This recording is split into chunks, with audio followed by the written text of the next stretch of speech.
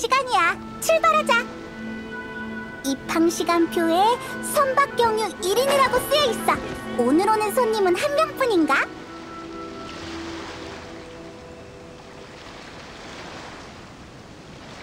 안녕, 여행자 페이먼. 이로도리 축제에 가이드가 있다는 말은 들었는데 너일 줄은 몰랐네. 우리도 카즈아가 손님으로 이나즈마에 돌아올 줄은 몰랐는걸. 초대장을 받았을 때 나도 의아했어. 하지만 밖에서 떠돌다가 이번 기회에 고향에 돌아와서 옛 친구를 추모하는 것도 나쁘지 않다고 생각했지. 카즈아, 멀리서 봤을 때 뭘 찾고 있는 것 같던데 무슨 일이야? 그게 방금 사람들이랑 배에서 내릴 때 갑자기 주변에서 아주 가벼운 발소리가 들렸거든. 절대 평범한 승객의 발소리가 아니었어. 고개를 돌렸을 땐 이미 사라지고 없었고 다리 아래서 풍덩 소리만 들렸지.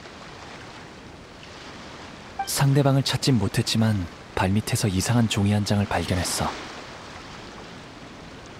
카즈아, 네가 준 종이에 혹시 시가 적혀 있었어? 너 어떻게 알았어?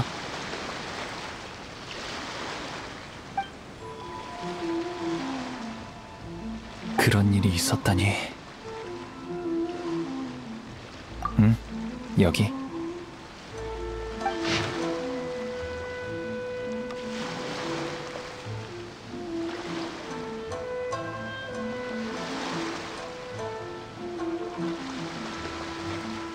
아오이노 우키나의 시 마지막에 아카이토를 언급했잖아. 역시 이번 편은 아카이토 이야기네.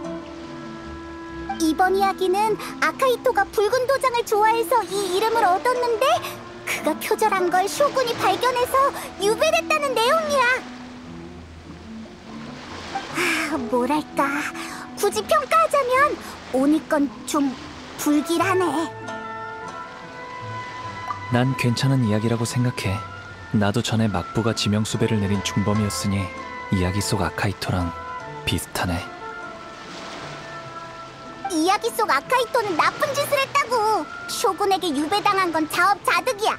카즈아랑 하나도 안 비슷해. 이봐, 무슨 생각해?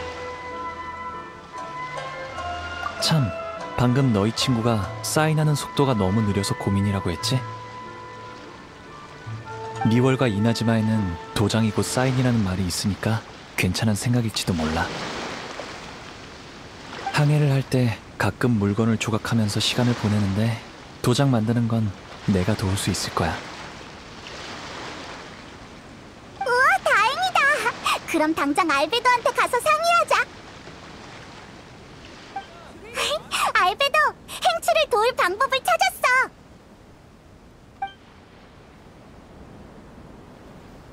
역시 다섯 가선의 이야기가 또 나타났구나.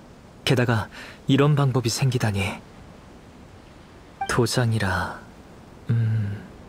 생각 좀 해볼게. 확실히 효율적인 방법이야. 더는 필체로 고민하지 않아도 되겠어. 다만 사인이 독자들에게 공개된 적이 있는데 이번 신간에서 행추 씨만 도장을 쓰면 성의 없어 보이잖아.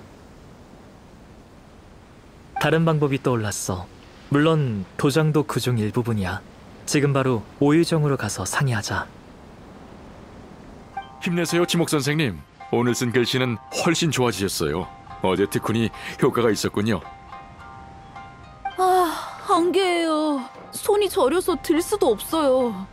이럴 줄 알았다면 서예 수업에서 소설 보는 게 아니었는데. 방금 10분이나 쉬셨지 않습니까? 좀만 더 버티세요. 역시 팀장님의 원고 독촉은 우리 중에서 제일 무시무시하다니까요. 네, 상대하기 어려운 작가님이 있으면 야이님이 결국엔 팀장님을 보내시니까요. 어떡해! 얼마나 못 봤다고 행추가 벌써 좀비가 다 됐어! 히라야마 씨, 실은 저희가 방금 방법을 하나 찾았어요. 문제를 해결할 수 있을지도 모릅니다. 리월과 이나즈마는 도장을 많이 사용하죠. 종종 사인 대신 쓰기도 하고요. 이 논리대로라면 더 쉽게 사인할 수 있을 거예요. 물론 도장만 가지고는 안 됩니다. 사인은 두 부분으로 구성돼야 해요. 우선은 개인 도장입니다. 이 부분은 치목 선생님의 사인을 본떠서 도장을 파면 돼요. 그리고 제가 치목 선생님을 위해 예쁘고 그리기 쉬운 도안을 디자인할 테니 치목 선생님은 모든 책에다 이 도안을 사인하면 됩니다. 네, 가능하겠군요. 작가의 친필 사인이고 미관상으로도 좋을 겁니다. 진짜요? 그럼 전 탈출인가요? 팀장님, 갑자기 생각났는데요. 현장 사인회를 포기한 건 작가님이 사인하시는데 오래 걸리기 때문이잖아요. 하지만 이 방법으로 사인하면 현장 사인회도 가능하지 않을까요? 그리고 모든 작가님이 비슷한 방법으로 사인하면 치목 선생님의 사인이 어색해 보이지도 않을 겁니다. 괜찮다면 다른 작가님들의 사인도 얼마든지 디자인해 드릴 수 있습니다. 도장 파는 일은 저에게 맡기세요. 그럼 지금 바로 신간 발매회의 다른 두 작가님에게 연락하겠습니다.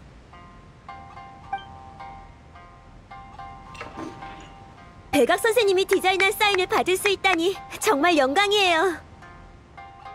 전 필명이 어려워서 사인회에 참가하기 좀 그랬는데 드디어 소원 성취하겠군요. 잘 됐다. 다들 이 방 안에 동의하는 모양이야. 아, 며칠 동안 치목 선생님 고생하셨는데 죄송해서 어떡하죠? 이제부턴 저희에게 맡기고 푹 쉬세요. 사인한 책들은 나중에 야외 출판사 행사에 특별 상품으로 사용하겠습니다. 살았어요. 이제 한숨 돌릴 수 있겠네요. 여러분이 도와주신 덕에 저랑 오노데라 씨가 어려운 상황을 넘길 수 있었어요. 행치도 이제 자유네. 나가서 바람 좀 쐬자. 오노데라 씨, 발매 변동 사항을 직접 야인님께 전하세요. 분명 마음에 들어 하실 겁니다. 오노데라 씨는 두뇌 회전이 빠르니까 일 처리만 좀 더 신중하면 앞으로 큰일 해낼 수 있을 거예요. 감사합니다, 팀장님. 이런 걸 보고 전화위복이라고 하죠? 신간 발매회가 사인회로 변했으니 독자님들도 좋아하실 겁니다. 아직 시간이 이른데. 이제 어디 갈까?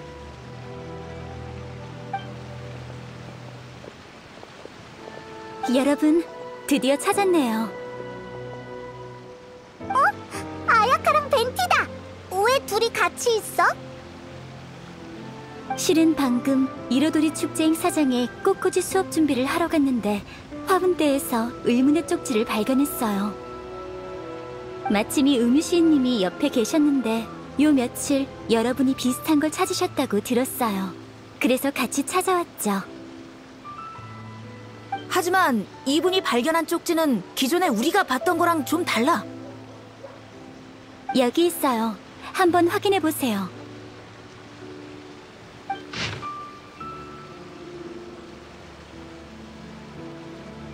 기존에 본 시는 길이가 비슷했는데 이번엔 두 마디밖에 없네. 두 마디뿐인데 제목이랑 붙어 있지도 않고 종이 가운데에 쓰이지도 않았어. 글씨의 위치가 마치 두 마디 외에 다른 내용이 더 있다고 말하는 것 같아. 글의 내용을 보면 종이를 물 위에 놓으면 진실이 자연스럽게 나타난다 라는 뜻이네요. 그러고 보니 저희 집에 고대의 기이한 이야기를 기록한 고서가 있는데 물에 닿으면 나타나고 마르면 사라지는 잉크가 있다고 적혀 있었어요. 그럼 한번 해볼까? 마침 근처에 물이 있어.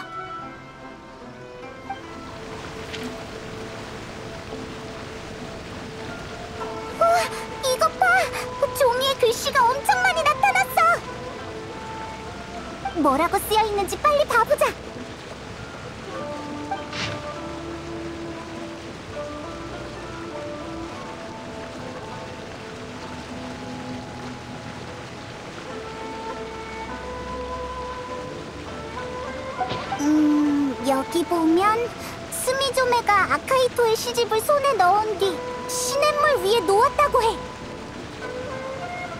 그리고 표절했다고 지목당한 시의 글씨가 번졌대. 왜지? 페이몬님, 인쇄기술이 발달하지 않았던 과거엔 책에 쓴 성글씨는 습기가 차면 쉽게 흐릿해졌답니다. 글을 오래 보존하기 위해서 특제 잉크를 사용하거나 다 쓴 후에 종이에 방수 도료를 칠한 경우가 많았어요. 특제 잉크를 제작하려면 많은 시간과 노고가 필요했고 도료를 칠하는 것도 쉽지 않았죠.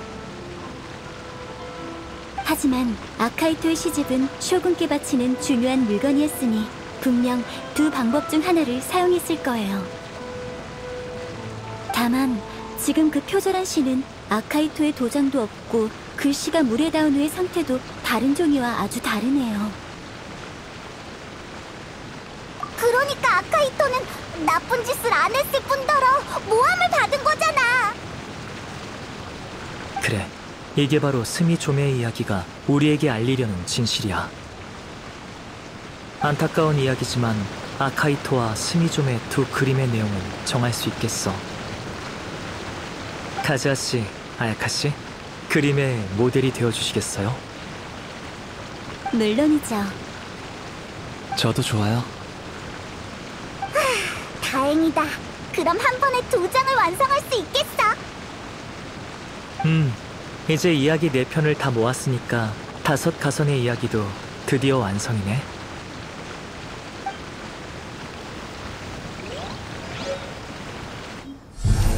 옛날 옛적 이나즈마에 다섯 시인이 있었는데 사람들은 그들을 다섯 가선이라 불렀다. 한 해는 스이코가 쇼군에게 시집을 감정받기 위해 천수각으로 향했다.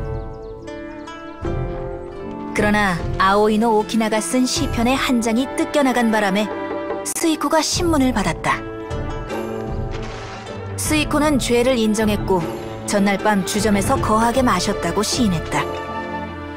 그가 취해 있을 때 누군가가 다가오는 것을 느꼈다. 그는 다름 아닌 아오이노 오키나였다. 이 모든 건 이름 모를 누군가로부터 비롯되었는데 아오이노 오키나는 협박을 받아 극단적인 방법으로 시집의 한 장을 회수했다. 그는 그자의 의도를 알지 못했다. 그저 시의 내용이 예뻐신 아카이토와 관련이 있다는 것만 알 뿐이었다. 아카이토도 한때 다섯 가선에 속했었다.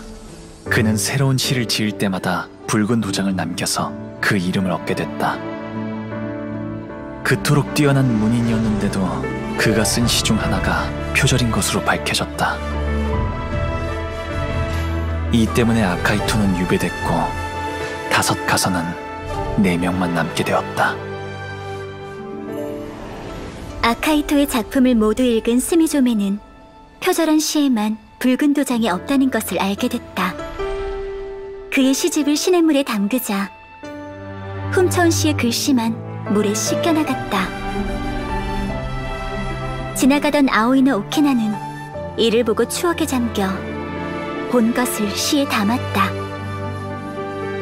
그리하여 스이커가 시를 바쳤던 일이 세간에 전해졌고 한 차례 풍파가 가라앉았다.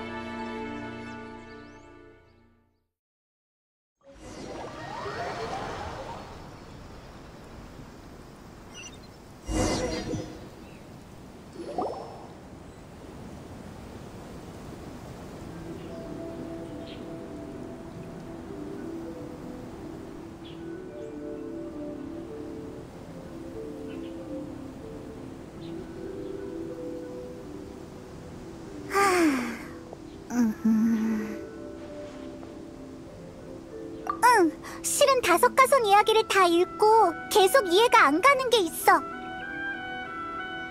다섯 가선에는 쿠로노시도 있잖아? 지금 쿠로노시가 등장하지도 않았는데 다섯 가선의 이야기가 끝난 상황 아니야? 아직도 모르겠어?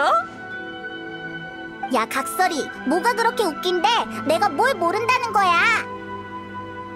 페이몬, 사실 기존의 시 4편에는 크로누시의 이야기가 포함되어 있어. 어, 정말? 사건의 관건은 아오이노 오키나가 시집을 물에 씻는 스미조메를 본 뒤에 쓴 시야. 일반인의 눈에 소녀가 시내가에서 아카이토의 시집을 씻는 모습은 어리둥절한 광경이겠지. 아오이노 오키나조차 스미조메가 왜 그러는지 몰랐어. 그는 그저 추억이 담긴 광경을 보고 옛 친구를 떠올렸을 뿐이야. 다만 아카히토를 모함한 범인은 달랐지. 범인은 그 시를 본 쇼군이 아카이토 표절 사건의 진실을 알아낼까봐 걱정했어. 그럼 범인은 끝장이니까. 그래서 위험을 무릅쓰고 아오이노 오키나를 위협해 그 시를 찢어낸 거야. 아오이노 오키나를 위협한 녀석이 바로 아카이토를 모함한 범인이구나. 뭐? 범인이 쿠로누시라고? 맞아. 시는 네 편밖에 없지만 다섯 가선의 이야기를 서술하고 있어. 시에 나오는 쇼군은 분명 가선이 아닐 테니 남은 등장인물은 그 정체불명의 사람밖에 없지. 어, 너희 설명을 듣고 나니 이해됐어. 근데 난 지금 다른 일을 생각 중이야. 다섯 가선의 이야기는 우리 주위에 일어난 일이랑 많든 적든 연관이 있어. 그럼 현실에도 쿠로누시 같은 인물이 있지 않을까? 어, 현실의 쿠로누시? 그러고 보니 카즈아가 뭔가를 생각해냈을지도 몰라. 카즈아? 어, 그렇네. 카즈아가 조금 전부터 아예 말이 없던데 가서 물어보자. 어, 카즈아, 무슨 일이야? 조금 전부터 계속 빈 캔버스 앞에 서 있고 표정도 안 좋은데. 미안해요. 이건 저희 추측이지만 혹시 다섯 가선 이야기 때문에 뭔가 생각난 게 있나요? 뭔가 생각나긴 했지만 그건 저희 가문의 옛 일일 뿐입니다. 여러분에게 말해도 상관없지만 더는 폐를 끼치면 안 될 것 같아서요. 이 카즈아, 우린 네 친구야. 패를 끼치다니 당치도 않아. 카에데아라 씨, 실례지만 혹시 생각난 게 뇌전오전과 관련이 있나요? 어, 내전 오전이 뭐야? 제가 카미사토 아가씨와 같은 생각을 했나 보군요. 이 일은 야시로 봉행과 연관이 깊은데 이걸 모두에게 말해도 괜찮을까요? 여기 있는 분들은 다 믿을 수 있어요. 말해도 괜찮습니다. 하지만 이 일은 좀 복잡하니 제가 뇌전오전에 대해서 먼저 설명할게요. 다들 아시다시피 야시로 봉행은 제사와 문화 전승을 주관하죠. 이나즈마의 검 단조 기술도 그 중에 중요한 부분이에요. 뇌전오전은 이나즈마에서 검 단조에 가장 뛰어난 다섯 유파였죠. 다섯 가문은 검 장인이었지만 야시로 봉행에서 높은 관직을 지녔어요. 아쉽게도 지금은 뇌전오전의 아메노마류만이 전승되고 있죠. 이 신의 기술은 사라졌지만 다행히 후손이 아직 살아있어요. 카에데아라 가문이 바로 이 신의 후손이죠. 카즈아가 귀족인 것만 알았지. 야시로 봉행과 검 단조와도 연관이 있는 건 몰랐어. 아, 하지만 이건 아주 오래전의 일이야. 이 신의 기술은 증조부 세대에서 몰락했어. 제 할아버지는 증조부의 무능함에 불만을 품고 젊었을 때 티바트를 유람하며 가업을 일으킬 방법을 찾았지만 실패했습니다. 그리고 저희 때에 와서 마지막으로 남은 가문의 저택마저 잃었죠. 저희 오빠는 뇌전오전이 빠르게 몰락했다고 했어요. 불과 수십 년 사이에 새 가문이 여러 불행한 사건에 말려 완전히 사라졌대요. 그 후에 이 모든 불행이 실은 뇌전오전의 멸문을 원하는 누군가가 암암리의 조종한 결과라는 설이 있었죠. 다만 뇌전오전은 완전히 사라지지 않았어요. 그런 설은 결국 세간의 뜬 소문으로 취급됐죠. 맞아요. 저도 그렇게 알고 있습니다. 하지만 증조부가 젊으실 적 큰 사건이 있었다고 합니다. 그 사건은 저희 카에데아라 일족뿐만 아니라 카미사토 가문이 야시로 봉행에서 차지하는 지위까지 흔들릴 뻔했죠. 다섯 가선의 이야기를 읽고 나서 이야기가 그 사건의 진실을 암시하고 있다고 느꼈어요. 가자. 그때 대체 무슨 일이 있었던 거야? 그 사건의 자세한 부분은 증명해줄 사람을 찾아야 해. 다들 내일 점심에 다시 여기로 모이죠. 때가 되면 제가 아는 모든 걸 여러분께 자세하게 알려드릴게요.